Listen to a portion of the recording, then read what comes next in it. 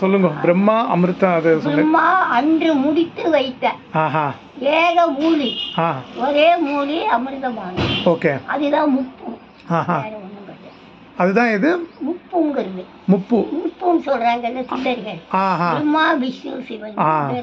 அமிர்தபவன் அது. இப்போ ஏதாவது ஸ்லோகம் சொல்லுங்க எங்களுக்கு. சின்னதாக அழகாக சொல்கிற மாதிரி அன்னைக்கு ஒன்று சொன்னேன்.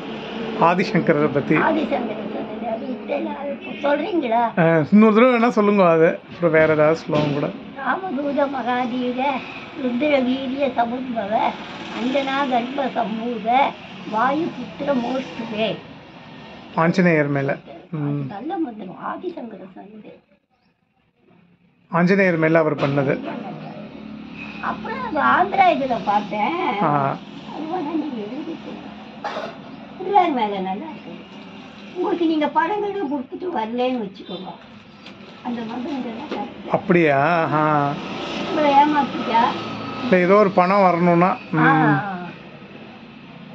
இது ஆந்திரா இது. யாரோ கொடுத்தது. பொங்கிட போகிறது பாட்டி ஸ்டவ் இது. பொங்காது இல்லையா? சரி சரி. சும்மா அரிசி நெல்லுங்க. சரி.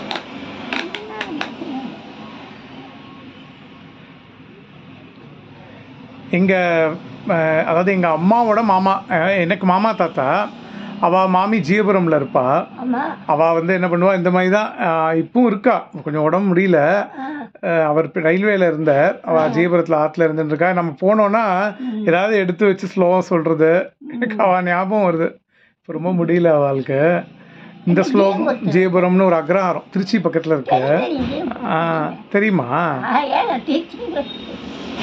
ஆ, ஏங்க திருச்சி ஜீவபுரம்ல திருச்செந்துறை அக்ரஹாரம்னு சொல்லுவா. திருப்பலாத்துறைக்கு போற ஆமா ஆமா ஆமா. கரெக்டா அப்படியா? எங்க சுந்தர் திருச்சி மெயின் திருச்சியில இருக்கா? எங்க அத்தை பையன் இருந்தா நீங்க சொன்ன நான் நிறைய போயிருக்கேன் ராமகிருஷ்ணா தபோவனம் இருக்கு படிக்கட்டுமா? ஆ. கன்னடால இது இருக்கா தமிழ். ஸ்ரீ கணேச ஆ. ஸ்ரீ ருணம் ஆ. சிந்தி. ஆ. ஸ்ரீ கணேச ஆ. ருணம் சிந்தி. ஓஹோ. அது மாத்திரம் சொன்னா போறோம் ஓஹோ. ஸ்ரீ கணேஷ ருணம் ரு- ருணம் ருணம்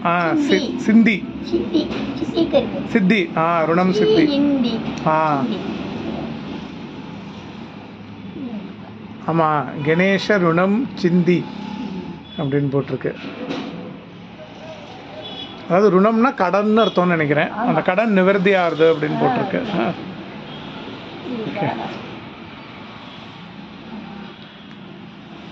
ஓகே ஆசீர்வாதம். நம்ம ஆசீர்வாதம் பண்ற போது தலையில கைய வச்சிருக்கு நம்ம ஆசீர்வாதம் பண்ணல. சிவனும் அங்கதானே இருக்கான். அவன் ஆசீர்வாதம் பண்ற. நான் இப்பதான் கேட்க வந்தேன். கை நான் இப்பதான் கே ஆசீர்வாதம் பண்ணணும்னு கேட்க வந்தேன். நீங்க உடனே சொல்லிட்டு அதுதான். அது. ஆட்டோமேட்டிக்கா. அதுதான். அது. அதான். தலையில கைய வச்சா அந்த அமிர்தபானம் வந்து ஓகே.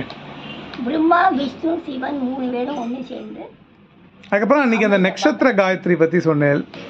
அப்பதான் ஒவ்வொரு நட்சத்திரத்துக்கும் ஒரு காயத்ரி போட்டிருந்தேன் புக் ஏதோ ஒன்று வச்சுட்டு இருந்தேன் பேப்பரில் வந்துருந்ததுன்னு சொன்னேன்? சரி பரவாயில்ல. சரி உடம்புலாம் சௌரியமாக இருக்குப்பா. சரி. என்ன நட்சத்திரம்? நான் வந்து மகா நட்சத்திரம் பாட்டி சிம்மராசி மகா நட்சத்திரம் சிம்மத்துக்கு வந்து தனஸ்தான பார்வை பார்க்கறானே அதனால ஓகே. ஆ.